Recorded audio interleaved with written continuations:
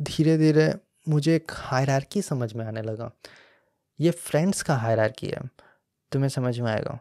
देखो यार, कोई भी फ्रेंड सर्कल होता है ना तो उसमें एक जनरली होता है डॉन ठीक है?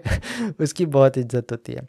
और बाकी जो एक दो होते हैं, वो थोड़े उससे लोअर लेवल के और उससे भी नीचे जिसका सब कोई मज़ाक वजाक उड़ाते रहता है और मज़े लेता रहता है क्योंकि सबको पता है कि ये जो लोएस्ट लेवल के जो लोग हैं इनका उन्हें कभी ऐसा ज़रूरत नहीं पड़ने वाला है ना?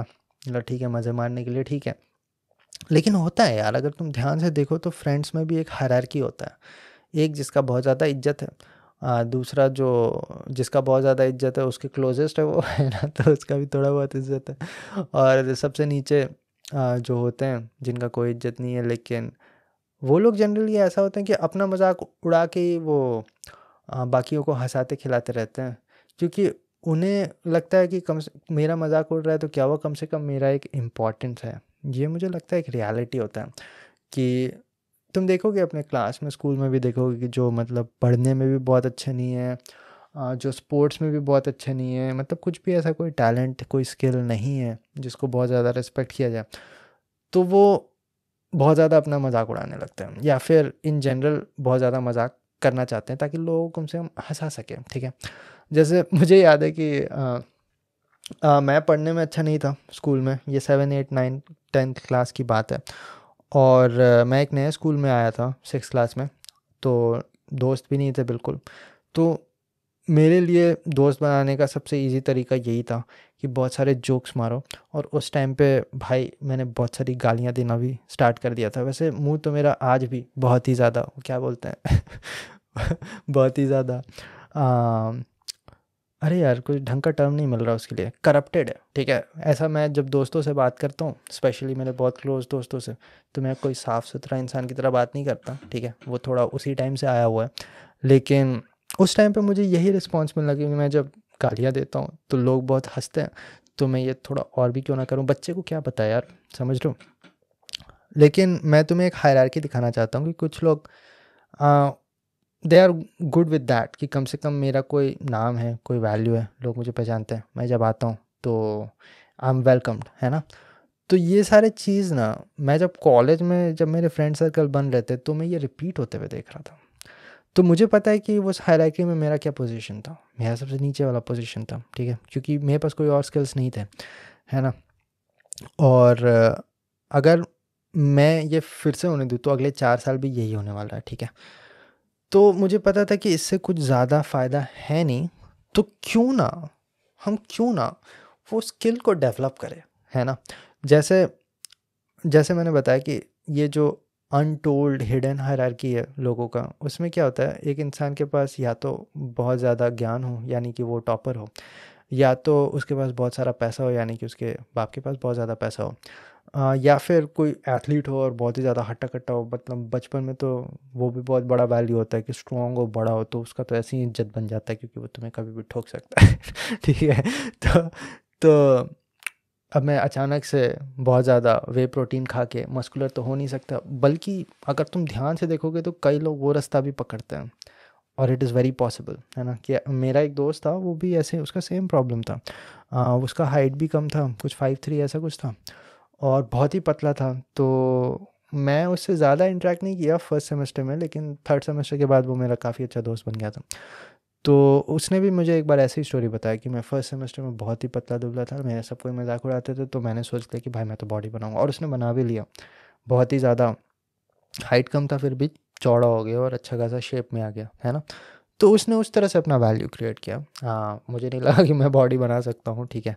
और ऊपर से मुझे ज़्यादा फ़ायदा दिखा कि पढ़ाई कर ले तो उससे करियर और भी अच्छा बन जाएगा। तो फिर मैंने शायद वो रास्ता पिक किया। कि मुझे बहुत सारा पढ़ाई करना चाहिए और सीधा टॉपर बन जाना चाहिए तो उससे भी काफ़ी रिस्पेक्ट बनता है। आ, एक तरह से ये पैकिंग ऑर्डर ही समझ लो कि सोसाइटी में किसका वैल्यू होता है और ये सारे छोटे छोटे चीज़ मैं समझने लगा था जब मैं कॉलेज में घुसा था।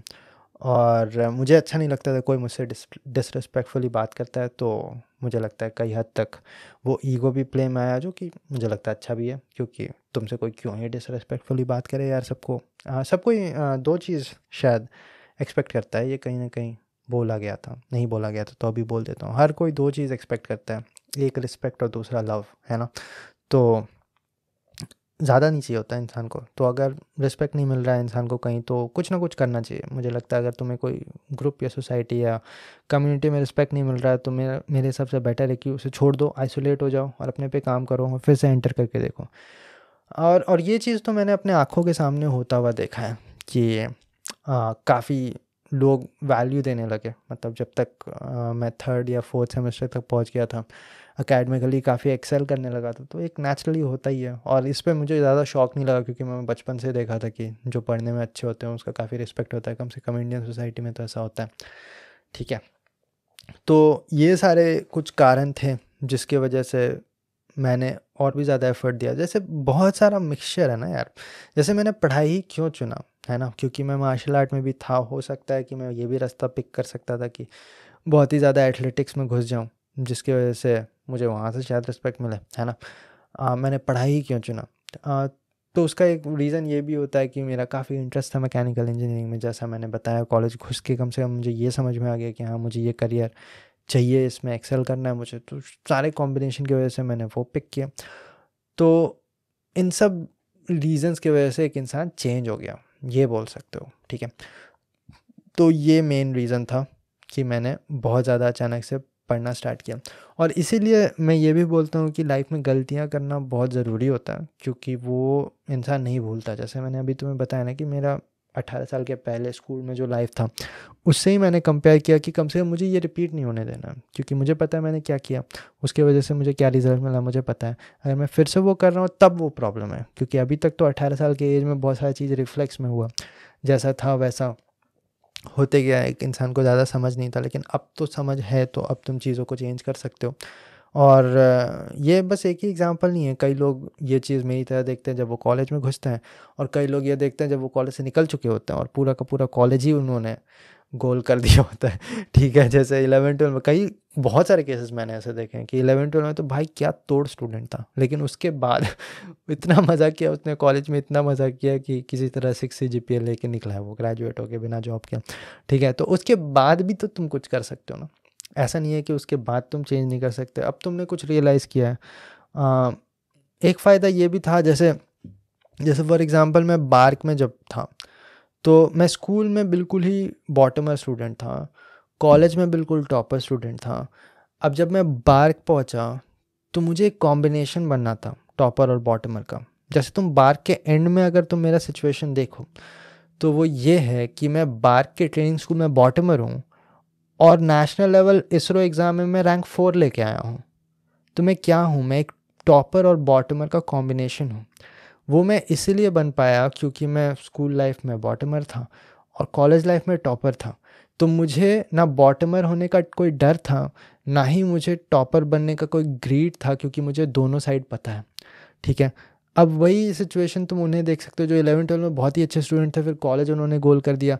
तो उन्हें पता है दोनों साइड में क्या होता है, क्या नहीं होता इसलिए एक्सपीरियंसेस काफ़ी इंपॉर्टेंट होता है। तुमने कोई गलती किया, उसका कोई प्रॉब्लम नहीं है। उससे सीख लो तो वो गलती एक गिफ्ट की तरह बन जाता है तुम्हारे लिए, जो तुम एक लेसन जो सीखे हो, वो शायद तुम कभी ना भूल पाओ। वो उस, वो लेसन तुम्हारा लाइफ का एक बहुत ही इंपॉर्टेंट सिग्नेचर बन जाता है, जो तुम्हें डिफ़ाइन करने लगता है।